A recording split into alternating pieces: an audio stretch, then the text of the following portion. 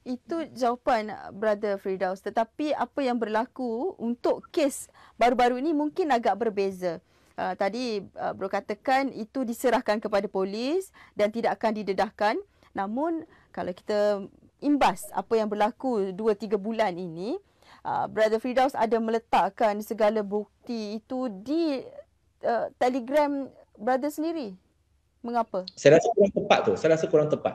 Uh, saya rasa kurang tepat benda itu dan ini perkara yang telah saya minta Malaysian Gazette untuk perbetulkan statement dalam uh-huh. artikel uh, Malaysian Gazette. Cuma uh, saya saya jenis yang akan bercakap terus terang dan memandangkan kita live, maka saya juga akan bercakap terus terang. Uh-huh. Iaitu uh, cuma bila diminta untuk Malaysian Gazette untuk memperbetulkan statement itu, uh, Malaysian Gazette masih perlu memperbetulkannya. Uh, maka itu sesuatu yang sangat menduka citakan kerana kalau kita lihat uh, tidak saya tidak uh, hanya ada satu dua screenshot yang pernah saya kongsikan itu saja.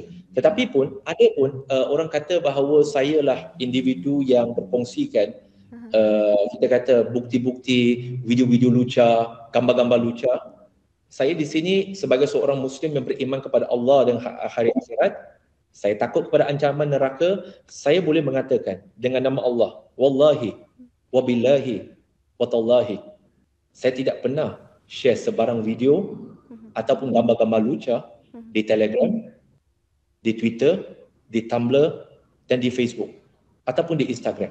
Tidak pernah. Ya. Saya pun tidak tahu. Dan dia sebenarnya lebih kepada untuk orang yang nak berfikir. Tetapi kalau orang yang malas berfikir, saya tak boleh nak buat apa-apa. Kalau difikir betul-betul, bukti yang ada pada kami bukan satu dua. Jikalaulah telegram yang diwujudkan itu dikaitkan dengan saya dan saya lah yang dikatakan ada ramai yang menuduh. Saya meminta sahabat-sahabat yang tidak tahu hujung pangkal agar tidak berkata begitu kerana anda sebenarnya sedang mengundang dosa-dosa kecil. Dosa-dosa. Dosa-dosa kering ni sebenarnya